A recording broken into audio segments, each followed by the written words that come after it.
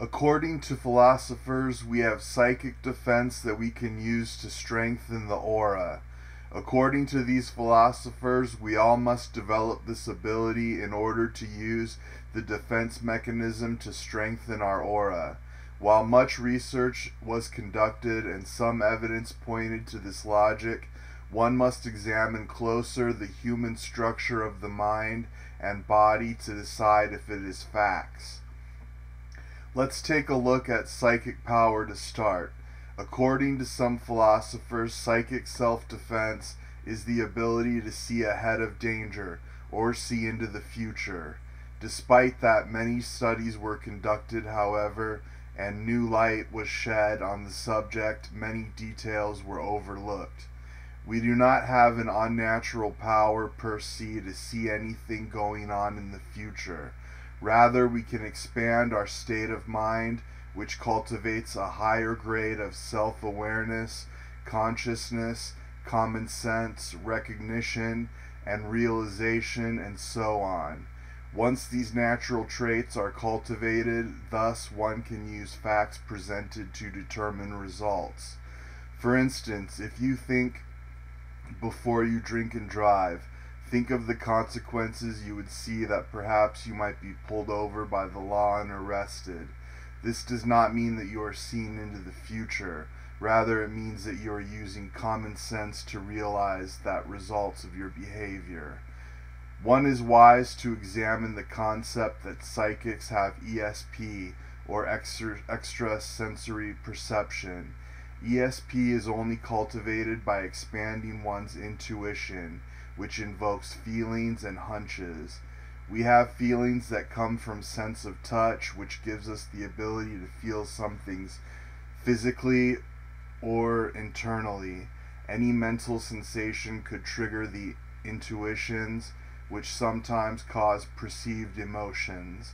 When the feelings cause instinctive awareness, it opens the mind to gut instincts that often make us feel as though something will occur. These instincts are the power that many have failed to understand, which is why psychic abilities is still short of definition. It is a mystery to many people today.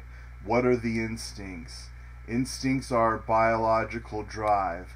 This is an inborn trait which causes a pattern of behavior characteristic to develop. According to some, instincts are shaped by biological necessity. Example, the need to reproduce and survive. Some people develop stronger aura impulses, which these powerful impulses can cause feelings that prompt one to take notice. Many people fail to understand instincts to its entirety. When we develop these instincts, it moves one to a higher sensory perception, HSP.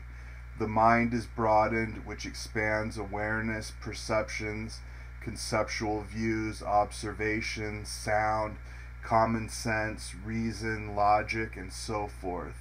One of these traits of humans is developed.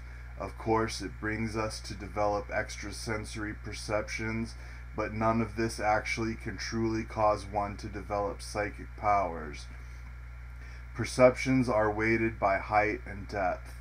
The depth of perception, according to scientists, is the monocular cues or height cues. Perceptions are our psychic powers or mental abilities to learn from observation.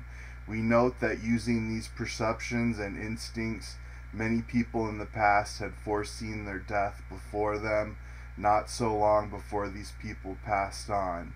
This is because our inborn instincts and perceptions as well as understanding the body and mind to a degree helps us to determine our outdate.